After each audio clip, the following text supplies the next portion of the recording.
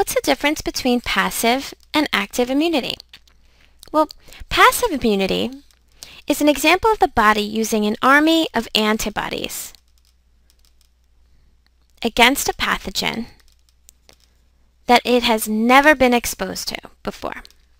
So an example is a fetus inside her mother's womb receiving antibodies from her mother through the placenta.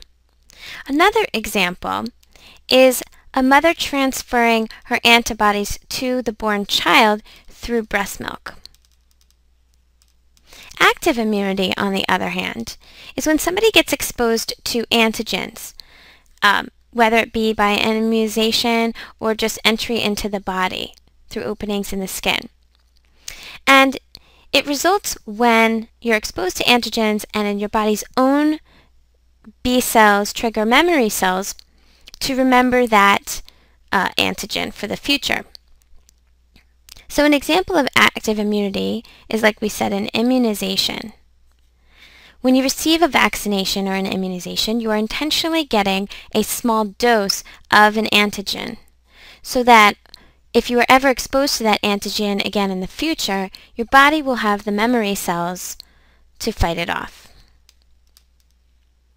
The antigen is actually a weakened or dead version of the actual pathogen, so it actually won't cause the disease itself.